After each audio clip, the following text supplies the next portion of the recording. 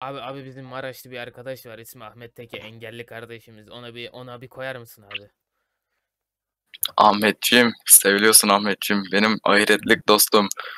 Sen beni seviyormuşsun, öyle duydum. Ben de sana bir çay, bol köpüklü çayımdan ikram edeyim.